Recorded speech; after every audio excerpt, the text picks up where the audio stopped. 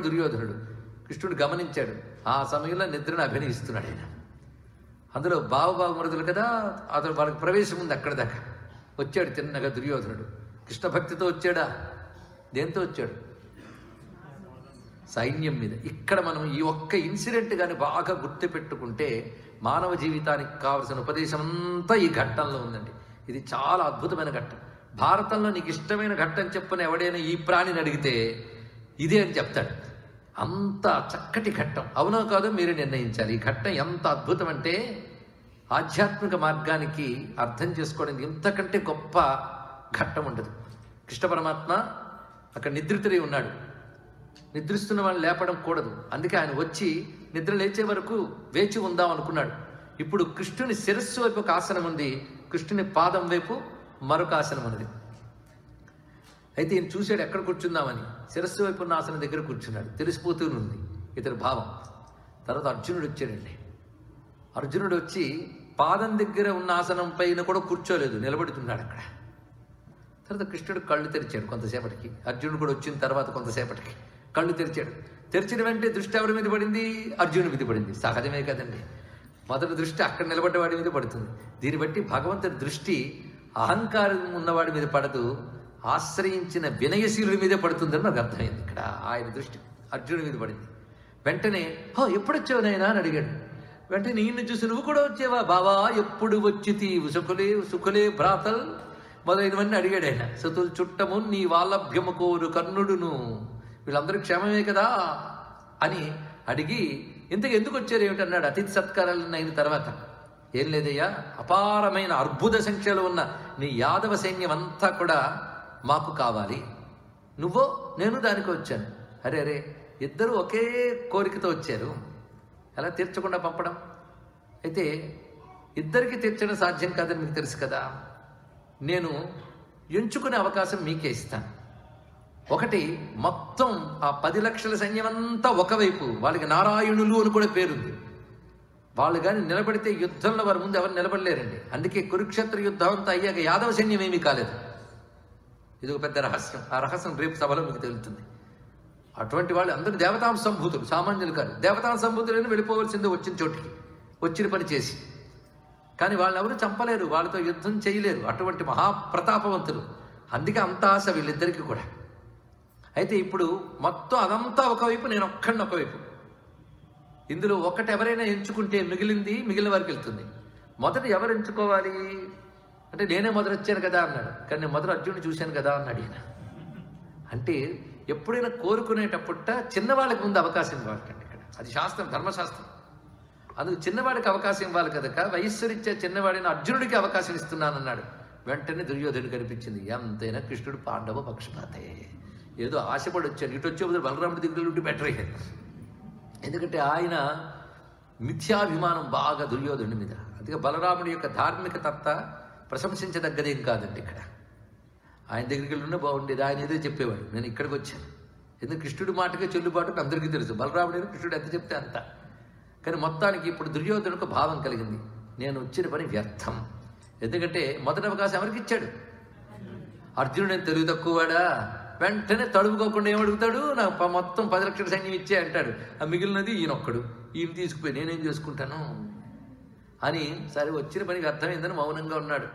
అర్జునుడు ఆలోచించకుండా తడుముకోకుండా అడిగాడు కృష్ణ పది లక్షల సైన్యం నాకు అక్కర్లేదు నువ్వు ఒక్కడు ఉంటే చాలయ్యా అన్నాడు ఇక్కడ. నేను పది లక్షల సైన్యంతో పాటు నువ్వు అని ఆశతో వచ్చాను. ఏదో ఒకటి అన్నావనుకో నాకు పది లక్షల సైన్యం అక్కర్లేదు నువ్వు చాలన్నాడు. వెంటనే కృష్ణుడు చాలా పెద్ద ప్రణాళిక వేశాడు. అర్జునుడు మూర్ఖత్వం వల్ల కృష్ణుడి ఆలోచన అంతా దెబ్బతింది. కృష్ణుడు వ్యూహం అంతా దెబ్బతిందని మురిసిపోయాడు ఆవిడు దుర్యోధనుడు. కృష్ణుడు తాను తీసిన గోతులో తానే పడ్డాడు. ఈ విధంగా అర్జునుడు మొత్తం పది లక్షల సైన్యం కోరుకున్న కోరుకోకుండా కృష్ణుడు కోరుకున్నాడు ఎప్పుడో. పది లక్షల సైన్యం ఎవరిది? నాదే. మొత్తం బలి జరిగింది. కాలం నాకు బాగా అనుకూలిస్తుంది కృష్ణ ఇంకా చేసేదేముంది? సైన్యం అంతా నాదే కదా అన్నాడు. నీదేనైనా వెళ్ళిపో అన్నాడు ఆ వెళ్ళిపోయిన తర్వాత అండి అర్జునుడితో అడుగుతున్నాడు కృష్ణుడు నన్నెందుకు కోరుకున్నావయ్యా? పైగా ఇంకో కండిషన్ పెట్టాడు యుద్ధం చేయను. ఆయుధం పట్టనన్నాడు ఇదొకటి అదే కానీ కృష్ణుడు కానీ యుద్ధం చేస్తే పది లక్షల సైన్యం కాదు కోట్ల సైన్యాలు కూడా ఆయన ముందు నిలబడలేవు. అది అందరికీ తెలుసు. కృష్ణుని యొక్క పరాక్రమం గురించి కూడా ఆలోచించాలండి. మనకంటే కృష్ణుడు అంటే ఎప్పుడు మురళీ పట్టుకు తిరుగుతున్న బొమ్మే కనబడుతుంది. కానీ కృష్ణుడు ప్రతాప కృష్ణుడు. అని జరాసంధుడితో యుద్ధం చేసినప్పుడు ధనుస్సు సంధించి వేస్తున్నప్పుడు కోదండ రాముడా కోదండ కృష్ణుడా అనిపిస్తుంది. కృష్ణ పరాక్రమం కృష్ణ ప్రతాపం అంత గొప్పది. ఇంకా పూర్తిగా పన్నెండేళ్ళ వయస్సులోనే చాణూరు ముష్టికులతో యుద్ధం చేసిన మహానుభావుడు సామాన్యుడు కాడు. మల్లయోధులతో కువలయాపీడమైన గజాన్ని తిప్పి కింద పడేసిన వాడు మహాప్రతాపవంతుడు కృష్ణ పరమాత్మ అది తెలుసుకోవాలి. ఎంత మృదువో అంత కఠినుడు ఎంత ప్రసన్నుడు ఎంత ప్రతాపవంతుడు. అదండి క్యారెక్టర్ అంటే అలా ఉండాలి. కానీ మృదువంటే ఎప్పుడూ మృదువు అంటే లాభమే ఉంది ఇక్కడ. కృష్ణుడు ఒక పరిపూర్ణమైన వ్యక్తిత్వం అండి. మొత్తం ముప్పై ఆరు గుణాలు చెప్తుంది భూమాత కృష్ణుని ఎందున్నవి. ఆ ముప్పై ఆరు గుణాలు తలుచుకుంటే ఆశ్చర్యపోతాం. అవన్నీ ఒకటి దగ్గర ఉండవు.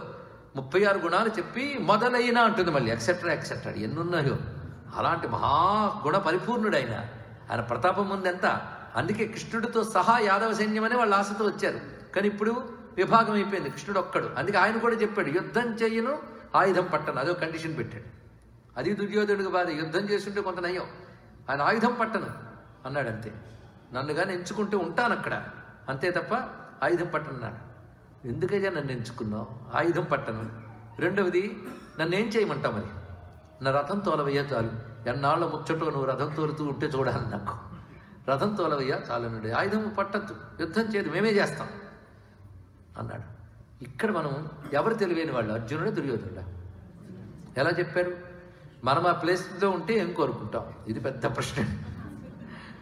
ఇప్పుడు కథ తెలుసు కనుక అర్జునుడు అనేసాం తెలియకపోతే మాత్రం ఆయన ఏం చేస్తాడండి అనుకునే వాళ్ళే ఇక్కడ మనకి భగవంతుడు ఒక అద్భుతమైనటువంటి ఆప్షన్స్ పెట్టాడండి. ఇది ఆలోచించుకోవాలి. ఇది కొంచెం కొంచెం తాత్విక విషయంలోకి వెళ్తున్న కథలు కొన్ని ఏకాగ్రత మీరు చెప్తే నేను చెప్పడానికి సిద్ధం. ఇక్కడ భగవంతుడి సైన్యం. భగవంతుడి సైన్యం కానిది ఇది సైన్యం అంటే ఆయన కంట్రోల్లో ఉన్న శక్తి అంతే కదా? భగవంతుడి కంట్రోల్లో అధీనంలో ఉన్న శక్తులే ప్రకృతి అంతా. అవునా లేదా? మనం చూసే సంపదలు కానీ మనం చూస్తున్న ప్రకృతిలో ఉన్న అద్భుతమైన పంచభూత శక్తులు కానీ ప్రకృతి నుండి లభించేవే కదా ఐశ్వర్యాలన్నీ. ఈ ఐశ్వర్యాలు శక్తులైతే ఈ శక్తులన్నీ ఎవరి అధీనంలో ఉన్నాయి? భగవంతుడి అధీనంలోనే. ఇప్పుడు చెప్పండి శక్తులన్నీ కావాలా వద్దా? కావాలి కదా? అయితే భక్తుడు ఏమంటాడంటే ఇవి నేను వద్దన్ను. ఈ ఐశ్వర్యాలు కావాలి ఈ శక్తులు కావాలి. కానీ నువ్వు కూడా కావాలయ్యా. అంటే అలాగా కొందరు అదృష్టవంతులు రెండూ లభించవచ్చు కానీ నీకు మాత్రం నేను ఏదో ఒకటి ఇస్తాను. మొత్తం ప్రకృతిలో ఉన్న సంపదలన్నీ కావాలా? నేను కావాలా అని భగవంతుడు అడిగితే మీరేం కోరుకుంటారు? ఇది పెద్ద చిక్కు. లేదు పాటతో పాటు ఇవి ఉంటే భగవంతుడితో పాటు సంపదలు ఉంటే పర్వాలేదు. కానీ ఆయన అలా అనలేదు ఆప్షన్ పెట్టాడు తెలివైన వాడు ఆయన అర్జునుడు నాకు ఈ సంపదలేవి అక్కర్లేదయ్యా నువ్వు కావాలి. భక్తుడంటే వాడండి. భక్తుడికి భగవంతుడు ఇచ్చే సంపదలు అక్కర్లే భగవంతుడే కావాలి అది తెలుసుకోవాలి ఇక్కడ. అటువంటి భక్తి పేరు శుద్ధ భక్తి. ఆ భక్తి కోటికొక్కడికి కూడా దొరకదు తెలుసుకోండి ఇక్కడ. నాకేమీ అక్కర్లేదయ్యా నువ్వే కావాలి. ఆ నువ్వే కావాలన్నమాట మనందరి దగ్గర అంటూ ఉంటాం. కానీ భగవంతుడిని నువ్వు కావాలి. కనుక నువ్విచ్చే సుఖాలు కాదు నువ్వు కావాలి. ఇలా అడగగలగడాన్ని శుద్ధ భక్తి అంటారు. జ్ఞానంలో పరమాత్మ తప్ప మరేది లేదు. భక్తిలో పరమాత్మ తప్ప ఇంకేది అక్కర్లేదు. ఇది తెలుసుకోవాలి. ఇక్కడ ఇక్కడ రెండు సమానమయ్యాయి లేదా? కానీ భగవంతుడు తప్ప నాకు ఇంకేమీ అక్కర్లేదు అనేవాళ్ళు ఎంతమంది ఉంటారు? కోటికొకడు కూడా దొరకడు. అందుకు శుద్ధమైన భక్తి కలవాడు కోటికొకడు కూడా దొరకడు. మన భక్తులారా అంటూ ఉంటాం. అంత భక్తుల్లో అసలైన భక్తులు ఎవడు దొరకడు తెలుసుకోండి. అందరూ కూడా వ్యాపార భక్తులే. సకామ భక్తులే. నిష్కామ భక్తి కలిగినటువంటి వాడు భగవంతుడు తప్ప నాకేం అక్కర్లేదు. అనేవాడు దొరకడం కష్టమండి. అలాగని వీటిని నిరసించడు. ఇవన్నీ రాని భగవంతుడితో పాటు. ఇదా అదా నిర్ణయిస్తే మాత్రం భగవంతుడే కావాలి. అది శుద్ధ భక్తి. అలాంటి భక్తుడు అర్జునుడు. అది మర్చిపోరాదు. అర్జునుడి యొక్క గొప్పతనం అంత.